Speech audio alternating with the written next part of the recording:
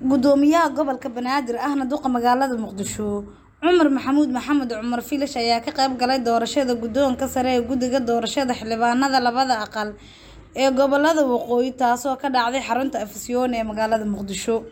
Gudoomiyaha gobolka Banaadir ahna duqa magaalada Muqdisho ayaa u hambalyeeyay guddoonkii la doortay isagoo u rajeeyay inuu Ilaahay u fududeeyo howsha adag ee sugaya xubnaha guddiga doorashada gobollada waqooyi waxa uuna tilmaamay inay qaban doonaan doorasho xor iyo xalaal ah oo ay ka qayb galaan siyaasiyiinta Soomaaliyeed. Dhinaca kale gudoomiyaha ayaa sheegay in dhammaan xubnaha guddiga ee is haystay ay halkaasi kaga gudbaan khilaafkii ka taagnaa doorashada gobollada waqooyi ee Somalilan. laakiin haddana waxaan ku faraxsanahay guulna ah maantay doorashadii inay noo dhacday si transbarenty ah muuqata ee shaki iyo mugdi uusan ku jirin inay noogu qabsoontay. Waxaan rabaa marka xubnaha guddiga ee doorashada qabsaday ee ka kooban toddobada xubnood inaan si gaar ah ugu mahadceliyo inay doorashada qabsadeen oo ay hoggaan samaystaan. Ka sokow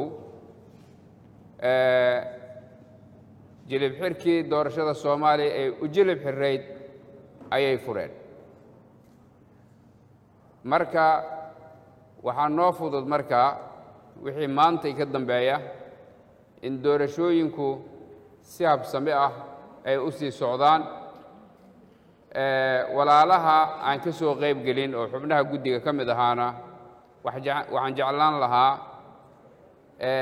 intaasu inay ugu fillaato wixii isjiijiid